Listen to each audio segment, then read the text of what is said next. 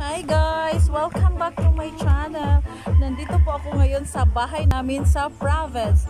Halika, ipapakita ko sa iyo ang mga halaman po ng aking munting ina. Ang dami po guys. Tingnan nyo po guys.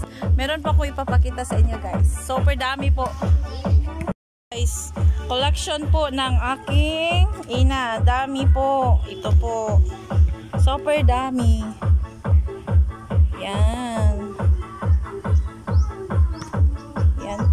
Madami po sa province po namin. Super dami yung ano ni mama. Ito po, may snake plant. Ang dami po niyang snake plant. At saka yung hindi ko alam kung anong pangalan nito. Sasa dami, madami po. Ito po yung yan. Diyan po. Hindi pa na-fix yung iba. For repot pa yan guys. Meron din naman po siyang ano ko na ano to.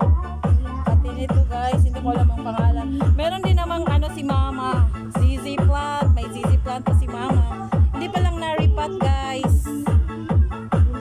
Ano, meron din naman siyang ZZ plant. At, at ito naman yung snake plant. May snake plant po si mama. May ano po siya. Nandami na po niya. Dapat i-ano na siya. I-transfer na siya. Pero hindi pa na-transfer guys. Dami po. At saka dito na naman tayo sa kabilang banda. So guys, madami po talaga. Ano siya, maganda. Yun. Nung super ano po, mataba po yung flowers ni mama dito. Mga alaga ni mama.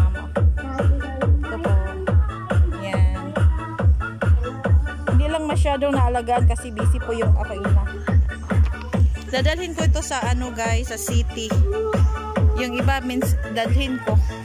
Para doon ko na i-ano. Doon ko na alagaan.